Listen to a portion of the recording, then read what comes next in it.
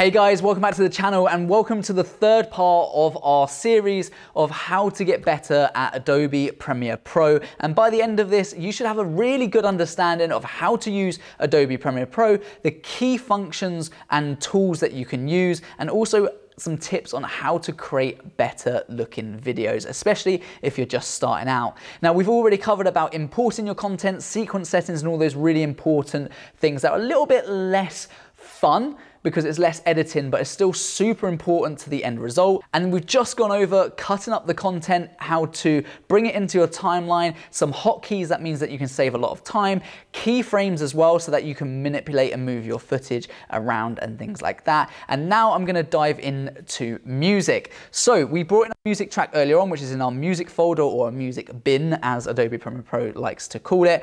And we're quite simply, again, either go into double click that and it will open up here, and we can either use our in and out points, so I for in, O for out, or we can just drag the whole track in as well. So I'm actually just gonna use this in and out point we're not actually creating a video because we want to keep this short and to the point. You guys don't necessarily want to watch me just edit a video from start to finish. Perhaps if you do, let me know in the comments below. But I'd rather just give you straight to the point answers that are going to help you right now. So you can watch this video, go away and do it, and take this same stuff that I'm saying now and apply it to almost any scenario you find yourself in. These are the tips and tricks and things that we do on every single video without fail. So these are the most important things. Obviously you can get into a lot more higher end detail if you want to dive into that. Sure, that's fine. We can create some more content around that. But really everyone needs to understand how to use the basics properly before trying to, you know, run before you can walk and all of that jazz. So we're going to bring in this music. We can see obviously that's a super, super short thing here.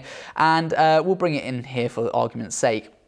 So you mentioned before that I can unlink things, but I can also mute the track or solo the track if I've got lots of different audio layers. And uh, if I zoom in by holding option and then scrolling in on my uh, laptop, uh, on my Mac obviously, um, you can see that it's got all these peaks and troughs. Now don't have the music, so for instance when it plays, it's hitting red over here because it's going to be horrible. So you want to make it as close to probably minus six as you can. That will give a really nice viewing experience. So somewhere around that would be good. Nothing's peaking in the ears, nothing's losing uh, quality and being distorted. So you want your audio to uh, really bring your video alive. Now, someone will watch a bad video with good audio, but they won't watch a good video with bad audio. So just keep those things in mind. It needs to be visually pleasing, but it also needs to have a soundtrack or some kind of immersive soundtrack or music behind it to, to make you want to keep watching and excite you as well.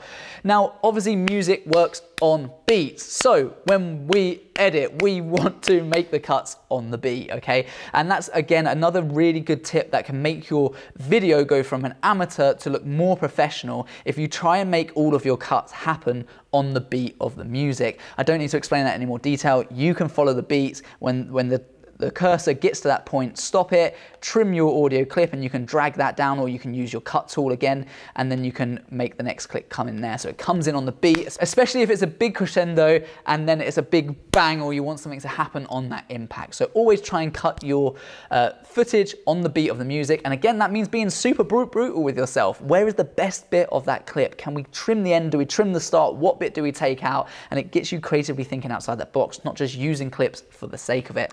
So we've got our audio in. So at this point, we should have a pretty good timeline. The first part of the whole editing process is really about bringing your clips in, so your clip selection, then adding the music and then dicing it up to fit the music so that you'll have a really good, what we would call first draft. Your video's in a great point where you're actually happy with it. It's 90 or 80% there to what the client would be happy with or that you're happy with. Now we can start to add things like effects. With the reason we don't add effects any sooner than this or color grade things is because you could be color grading things and adding effects to things that you actually end up deleting because it doesn't fit with the overall flow of the video. So always make sure you've got a really good idea, a good vision in your head of what you want the end goal to look like.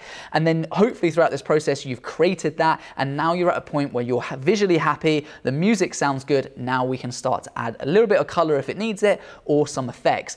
Now, I'm not going to go through all the effects. Again, Adobe has got tons. You can spend a bit of time just going through them. But the effect that you're probably going to use the most, especially if you're a beginner, is Warp Stabilizer. So you can access that by the left-hand side down here. You can scroll through to effects. That's generally my preference. I like to stay within this screen. Or you can click on the effects tab. But for the purpose of this, I'm just going to click here.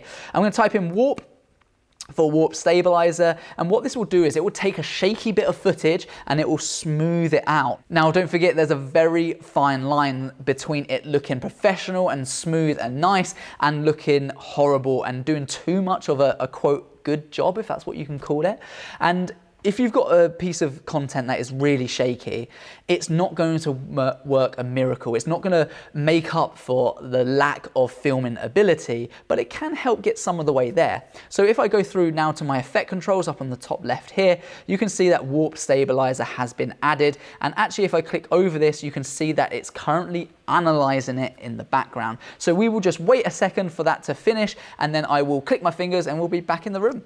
Okay, there we go. It has now finished analyzing on some of our uh, Macs and PCs upstairs where we have in our editing suite. Um, it does it super quick. I'm obviously on an old school Mac, so it's not doing that well. Now, if I play this through, if it will allow me to, you can see how it's smoothed it out, but it's making it feel a bit wavy, a bit trippy. Now, if that's the effect you're going for, then great, it's done a brilliant job, but it's probably not. So over the left-hand side here, you wanna change that smoothness, and you can go down as low as 5%, but I suggest trial and error. Go to 20%, see how it looks, it will stabilize it again, and then you can play that through, and it's less wavy than it was before, Again, click on that clip and you can just go through the options. Now, we use a subspace warp. You can also use position, scale, and rotation. Um, I wouldn't bother with the other ones, to be honest. I would just generally test those two um, and see what works better between them. Generally, subspace warp is does the best job, so I leave it on that. It's just about getting the right smoothness.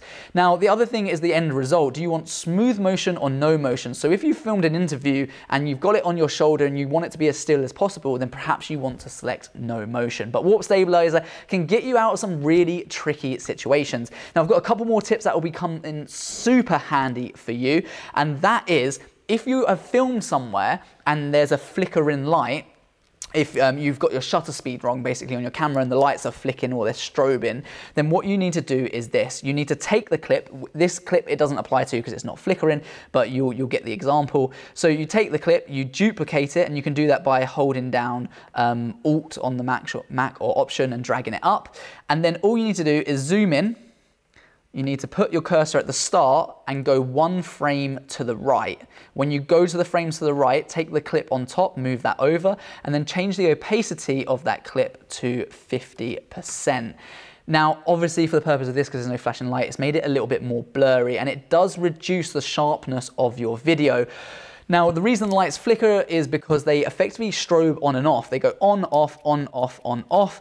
Um, especially with old school lights, they do it a lot slower, so that's why you get flicker. And that's a really simple technique on how you can resolve that problem right there. So that will get a lot of you out of trouble if you're editing some footage that um, you haven't captured necessarily right or the person hasn't. The next thing I want to cover very quickly is speed remapping or perhaps um, slow motion or ramping the speed. So for this, you can right click, go to speed duration, and you can slow this down like we were saying before. Let's slow it down by 50%. You can also reverse the speed there if you want to to as well. And because for the purpose of this, I'm gonna remove warp stabilizer just by toggling it off in the effects panel over on the left.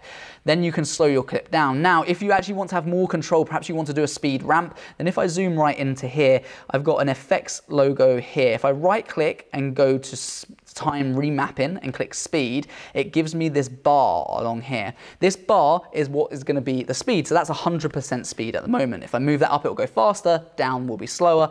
But what I want to do is I want to press command and click on that. And that's created a keyframe for me. Okay. So in doing that keyframe, I can now drag up this section to make it faster. I can make this section lower at points of the video where I want it to be most impactful. And by clicking these little toggle arrows here, I can drag it out. So it might not be a sudden slow, it might be a gradual slow down to a normal speed. And that's a really good quick tip that I've gone over there. Finally, to wrap this video up and wrap up the end of this series, because these are literally the things that we use all the time creating content and making your work better is color grading. Now I've used GoPro footage here because it's mounted on the top of our customized FPV drone, but we wouldn't normally do too much with this. Perhaps we would, we would add in a few bits and pieces. There is a correct way to color grade, and that's a very lengthy video in itself. So if you want to see that, let us know. Perhaps we can create that. But for you guys, you probably want to add a little bit of saturation perhaps, or you want to take some saturation out. The biggest mistake that beginners make when they edit footage is they make it super saturated. They make it so crazy colors and it's just not true to life. So please try and stop yourselves from going oversaturated. Sometimes with some of your cameras, if you're not manually changing the settings or shooting in log or raw or anything like that, then you probably want to decrease the saturation slightly. You can increase your exposure, but again, remember that if you increase your exposure, you will start to lose some detail. Have a little play around with this, but one of my tips would be is to use this Lumetri scope over the left-hand side. You can get that by clicking on settings and selecting um, waveform RGB. Now 100 is complete white. Anything over 100, there's no detail in it whatsoever. And the same with zero, but that's complete black. So for instance, with this, we know that over the left-hand side, we've got some um, white that is uh, losing all detail. That will be this arcade machine here. That's not actually that important to us with this shot. It's important that it's a little bit brighter over on the right-hand side so we can afford to lose a little bit of detail there. It's always about making conscious choices and the blacks again are being crushed at the very bottom. So we don't want something that looks like this because that's horrible. We just want something that fits nicely in the middle. If you go through to your creative, you've got a few more options. And again, don't put saturation on 200 and your vibrance on 200 or 100. It's gonna start making it look really crazy and horrible. Perhaps if you're shooting a rap video or something trippy, you might want that, but generally speaking, it's not gonna look good and it's where most beginners go wrong. You could add a very small S-curve in just to give it a little bit more of contrast by clicking in the middle here, clicking down here and bringing it apart. And what I suggest you do is actually take this to extreme so you get a good understanding of what bad looks like versus what good looks like.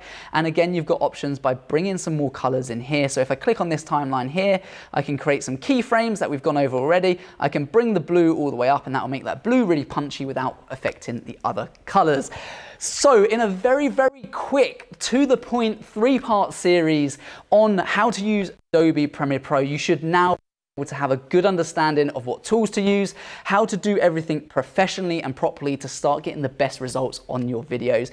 If you've enjoyed any of this content, please do subscribe to the channel. Please let us know in the comments what you thought below and hit the like button too. Again, if you want me to dive into anything in a bit more detail, I'm more than happy to do that. Just let me know and we can help the community as much as possible. Until next time, keep working hard, keep testing this stuff out, spend some time because the more time you spend in Adobe Premiere Pro, the better you will become as an editor. Until next time, peace.